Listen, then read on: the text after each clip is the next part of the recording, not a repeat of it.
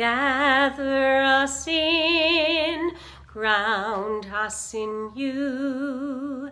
Gather us in, ground us in you. Gather us in, gather us in, ground us, ground us in you.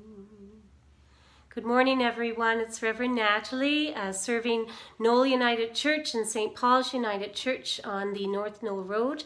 I bring you greetings this morning in the name of our Lord Jesus Christ. It's Sunday morning, March the 29th, and just as we always do indeed whenever we come before the sacredness and the love of our God, uh, we extend a very warm welcome uh, to each and every one of you. And it is my, um, my prayer that as we come before uh, the sacredness of our God, that we may, each and every one of us, feel a sense of God's love and God's peace, and also a sense of community, even though we are not physically together this morning, but of course, on a very deep and spiritual level, we are all connected as brothers and sisters in Christ. I invite us just to take a moment as we come before the love of our God this morning to pause and to open up our hearts to the goodness and to the grace of Jesus with the lighting of the Christ candle.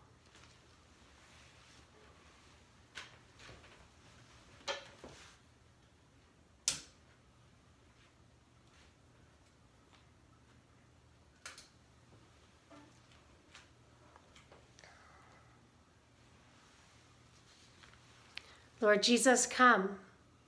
Come and uh, dwell within our beings. Lord Jesus, come into our homes, come into our communities, come into our provinces, come into our country, and indeed, Lord Jesus, come throughout the whole of the world. Bring your light in this time of darkness. Amen.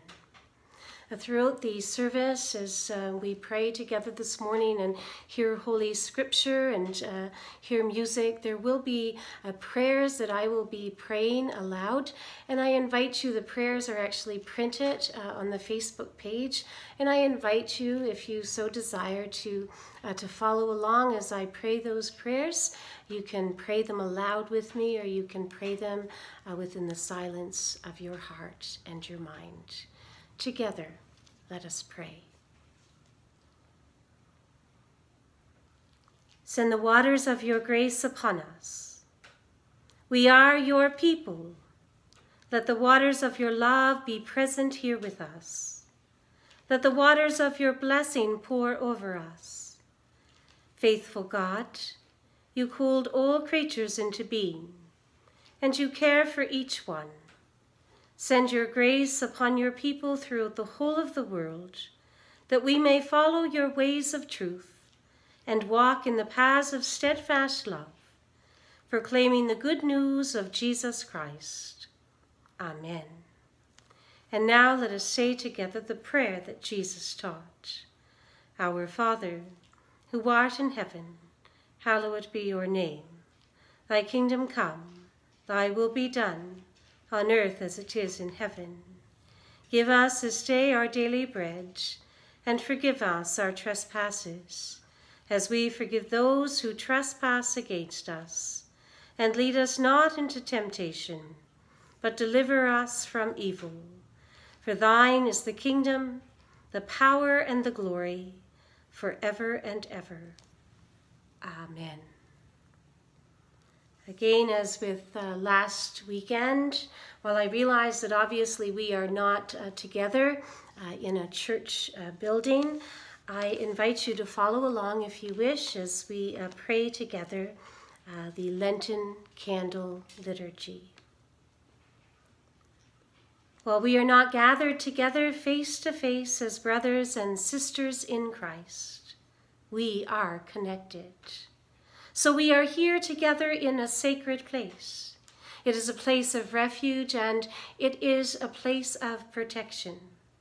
This holy connection is a sacred space. The season of Lent is a kind of sanctuary extended in time. And one of the things that Lent teaches is that you too are a sanctuary.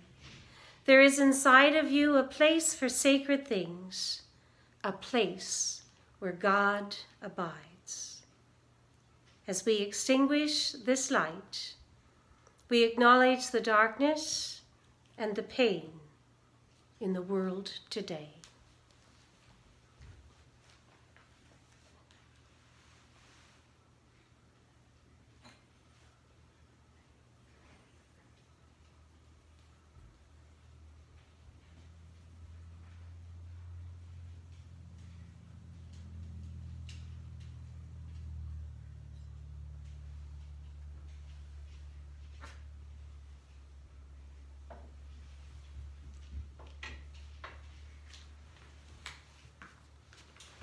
Let us pray.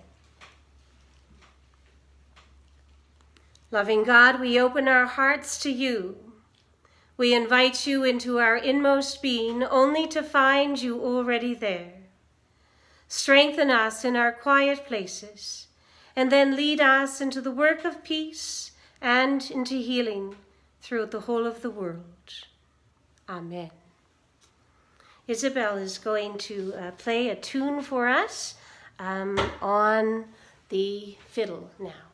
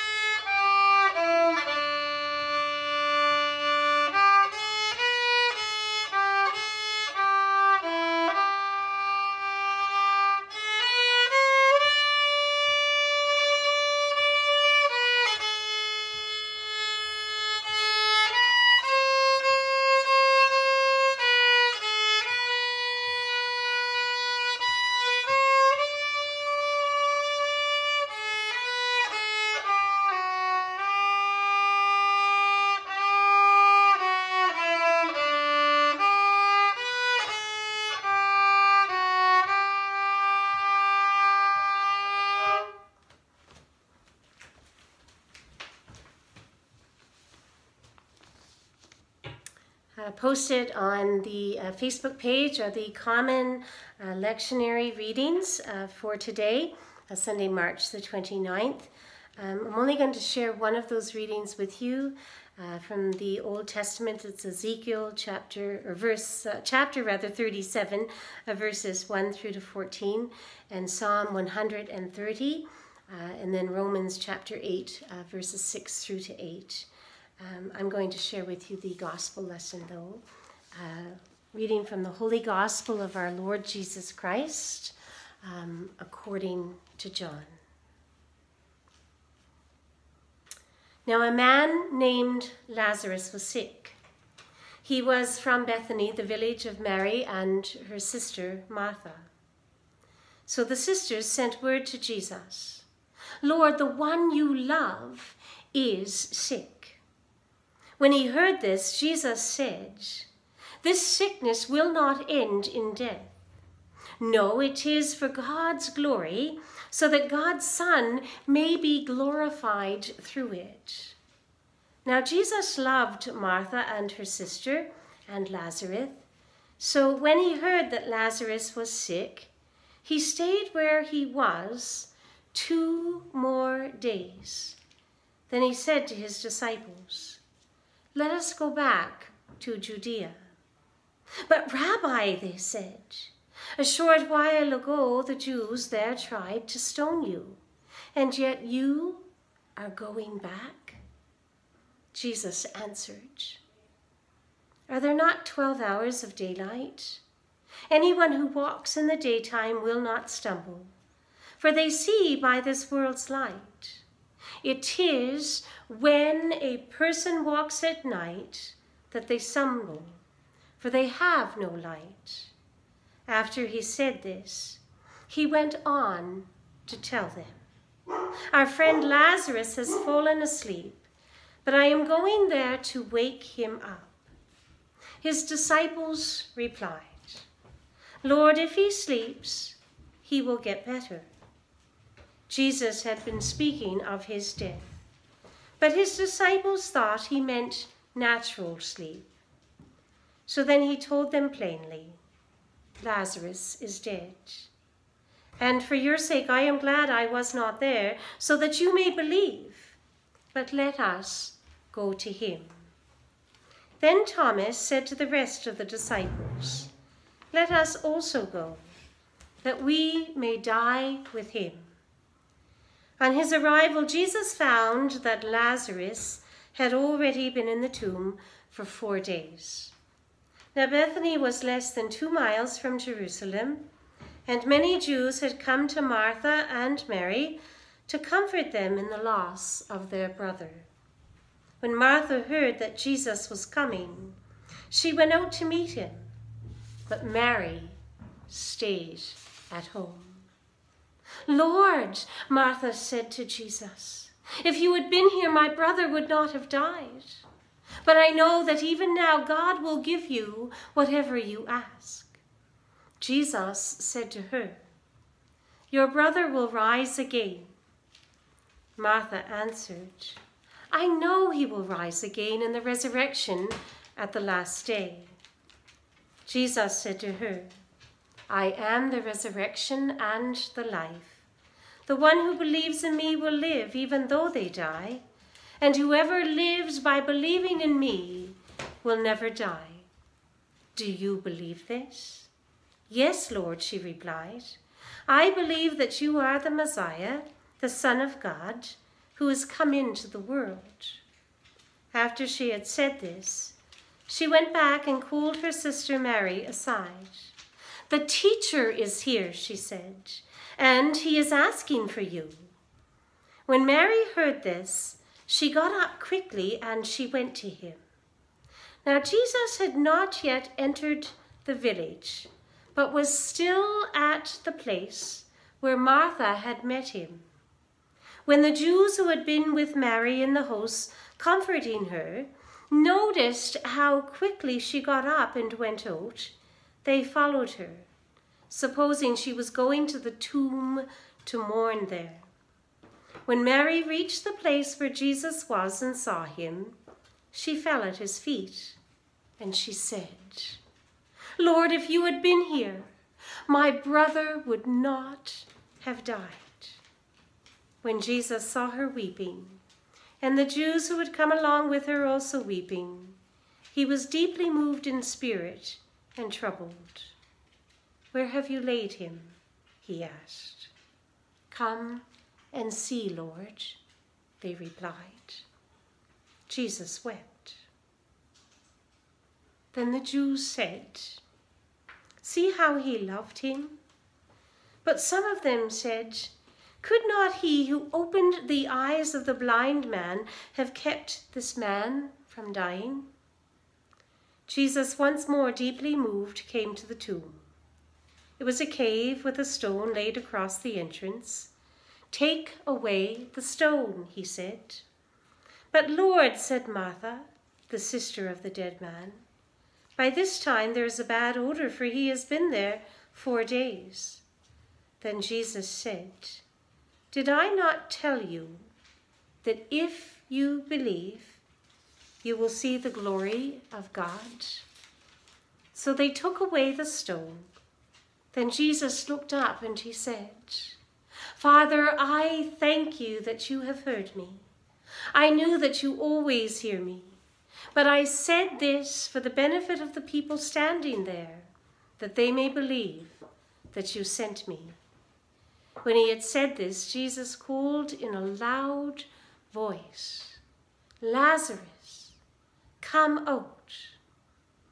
The dead man came out, his hands and feet wrapped with strips of linen and a cloth around his face. Jesus said to them, Take off the grave clothes and let him go. Therefore, many of the Jews who had come to visit Mary and had seen what Jesus did believed in him. This is the gospel of Christ. Praise to you, Lord Jesus Christ. Amen. Uh, Daly is going to play a piece of music on um, the piano.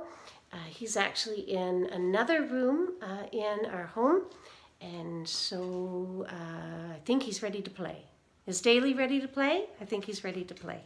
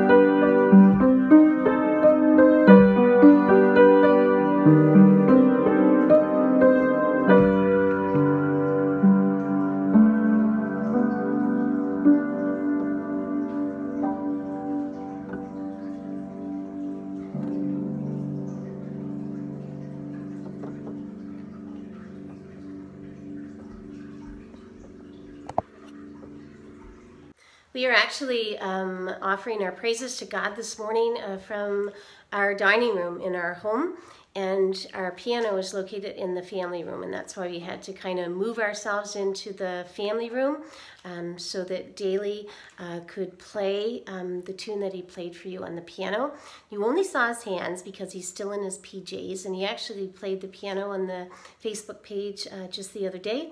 And he chose to do it that exact same way because he, yet again, was well, he was still in his PJs. So I just want to I want to thank both of my kids for um, helping me out here this morning and offering their uh, gifts of music. And I've hired them as employees uh, to give me a hand. So I just bless them and thank them both very, very much.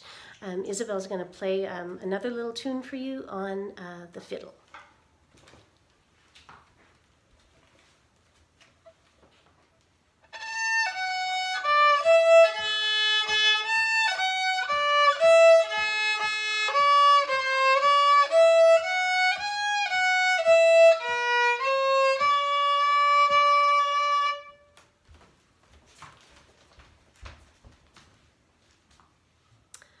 I've met a lot of people throughout my life thus far.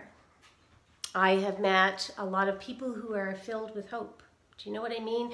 People who are just oozing with the love of God and people are just oozing with happiness. It just seems that absolutely nothing ever gets them down in life. And if it does, they are able to lift themselves up again ever so quickly. I've also met a lot of people who, who say that they have no hope.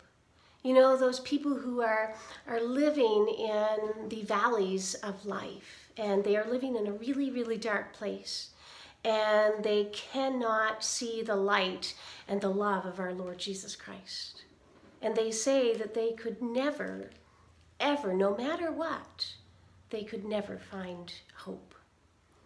The gospel lesson that we heard together this morning from the Holy Gospel of our Lord Jesus Christ, according to John, it's that familiar story. I'm sure it's a story that many of us have heard throughout our lives thus far um, over and over again. It's the story of the raising of Lazarus. Mary and Martha call for Jesus. They are Lazarus' sisters. They call for Jesus because Lazarus is not well. But by the time he arrives, Lazarus has died. Martha comes to Jesus pleading, If only you had been here, this would not have happened. And then, of course, later we hear Mary saying similar things Lord, Messiah, if only you had come sooner, our brother would not have died. In those moments, they had no hope. And then Jesus changed everything. Jesus changed everything for them like he always did and like he always does.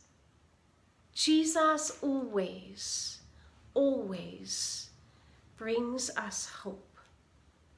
Do you know something? In the course of the last number of days, amidst all that is going on throughout the whole of the world and, and on a very personal level within our own province and our own communities, Jesus is bringing hope.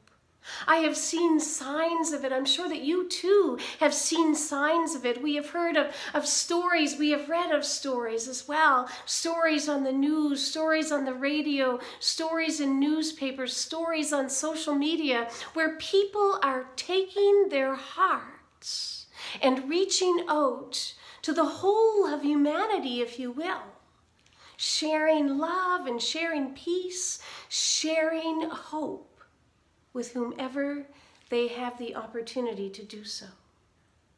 Jesus is bringing light into the darkness. And of course, within that, we are reminded of the presence of God within our lives. And we are reminded too of our call as brothers and sisters in Christ to live in love and to live in hope. I know that uh, many of us are already doing that. And I just invite us in this time to love one another, to love one another in whatever way that we can, and to love one another in whatever way that we can, as much as we can, from inside of our homes and from within our hearts. Let us bring to one another the message of hope. The hope that we heard in the gospel that was spoken through the holy gospel of our Lord Jesus Christ according to John this morning. That hope that continues to live on forever and ever. Amen.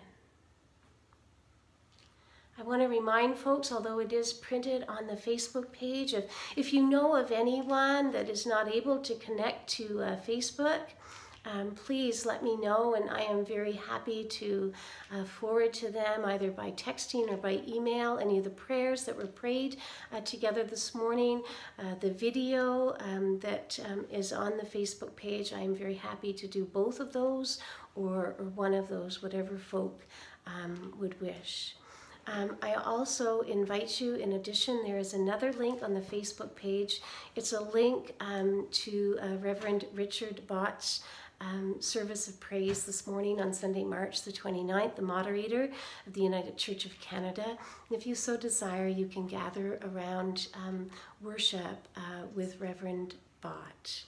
Um, Isabel is going to uh, play uh, one more piece for us and then we will gather together for a benediction.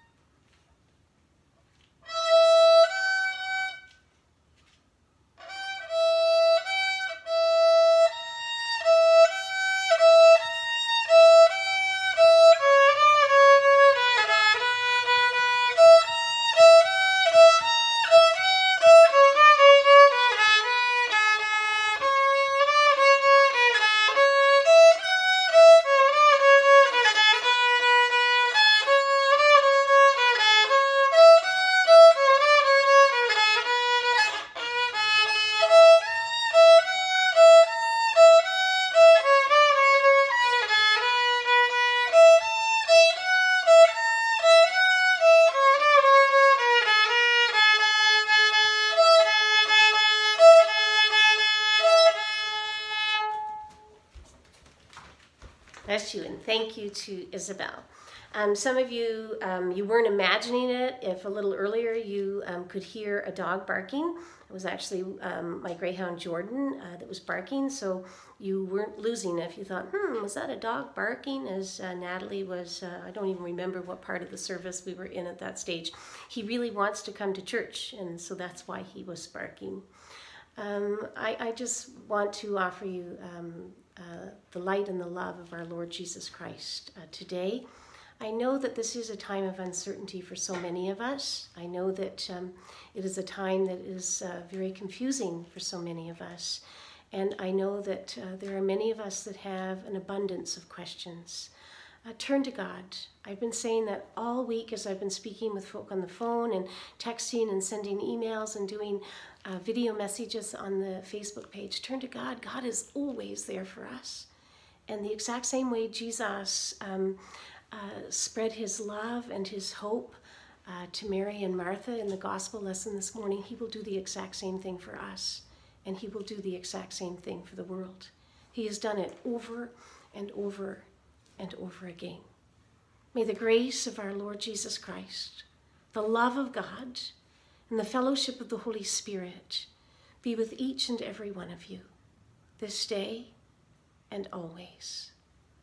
Amen.